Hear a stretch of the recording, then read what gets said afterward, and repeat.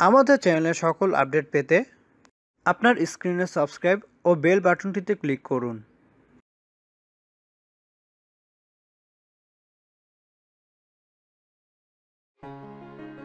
একজন গর্ভবতীর দৈনিক খাবার তালিকা কেমন হওয়া উচিত? এ বিষয়ে অনেক গর্ভবতীরা দ্বিধায় ভুগেন। হয়তো অনলাইনে বা ইউটিউবে এই বিষয়ে অনেক তথ্য দেখেছেন, যাতে আপনি ততটা উপকৃত হননি। তবে আমাদের এই ভিডিওটিতে আমরা তুলে ধরার চেষ্টা করব প্রামাণ্য কিছু তথ্য, যা দ্বারা আশা করি আপনি উপকৃত হবেন। তাই ভিডিওটা শেষ পর্যন্ত দেখতে ভুলবেন না। সকালের খাবার। এ সময় ভারী খাবার না খাওয়াই উত্তম হবে। ঘুম থেকে উঠে কিছু বিস্কিট, মুড়ি বা এরকম শুকনো খাবার খাওয়ার চেষ্টা করুন। সাথে পর্যাপ্ত পরিমাণ পানি। এরপর দুই থেকে একটা রুটির সাথে এক বাটি পরিমাণ ডাল বা তরকারি বা সবজি খাবেন সাথে একটি সিদ্ধ ডিম।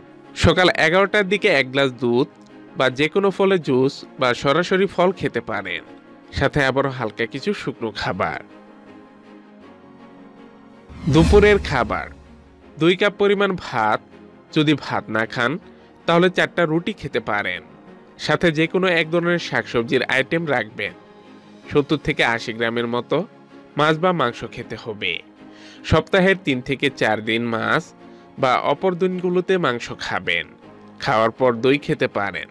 এটি আপনার খাবার হজমে সাহায্য করবে। বিকেলের খাবার। দীর্ঘক্ষণ যাতে ক্ষুধার্থ না থাকেন, এর জন্য বিকেলেও হালকা খাবার খাওয়া উচিত। এ সময় খেতে পারেন স্যুপ, বাড়িতে তৈরি হালকা নাস্তা বা নুডলস বা মটরশুঁটি ছোলা ভাজা। এক মুঠো পরিমাণ যে কোনো ধরনের বাদাম। একটি সিদ্ধ ডিম। রাতের খাবার। দিনের মতোই রাতের খাবারটা হবে। তবে রাতে শাক জাতীয় খাবার খাবেন না। এতে হজমের সমস্যা হবে। সবজি খেতে পারেন। আর সাথে এক গ্লাস দুধ। এই দুধ সারা রাত বাচ্চাকে পুষ্টি সরবরাহ করবে। অনেকের মাঝরাতে ক্ষুধা লাগতে পারে। তাই যে কোনো ধরনের স্বাস্থ্যকর শুকনো খাবার আগে থেকেই সাথে রাখবেন। এটা হতে পারে বিস্কিট, কেক মুড়ি ইত্যাদি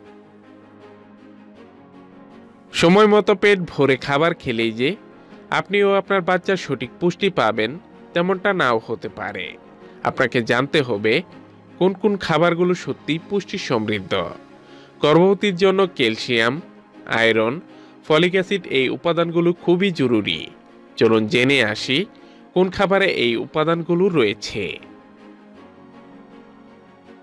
ক্যালসিয়াম ক্যালসিয়ামের সবচেয়ে বড় উৎস দুগ্ধজাতীয় খাবার, যেমন দুধ, দই, পনির ইত্যাদি। এছাড়া মটরশুঁটি, ছোলা, বাদামেও যথেষ্ট পরিমাণ ক্যালসিয়াম পাবেন। যদি আপনার উচ্চ রক্তচাপ থাকে, তাহলে দুধের পরিবর্তে দুই খাবেন।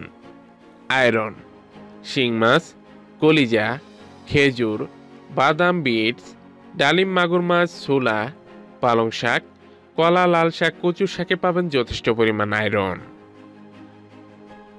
ফলিক অ্যাসিড আম জাম, লিচু, কমলা, আঙুর, স্ট্রবেরি ইত্যাদিতে পাবেন ফলিক অ্যাসিড পুঁই শাক পাট শাক মোলা শাক সরিষা শাক, লেবু, ব্রোকলি, মটরশুঁটি, সিম, বরবটি, বাঁধাকপি, গাজর ইত্যাদি ও মসুর মুগ মাসকালাই বুটের ডাল ইত্যাদিতেও রয়েছে ফলিক অ্যাসিড।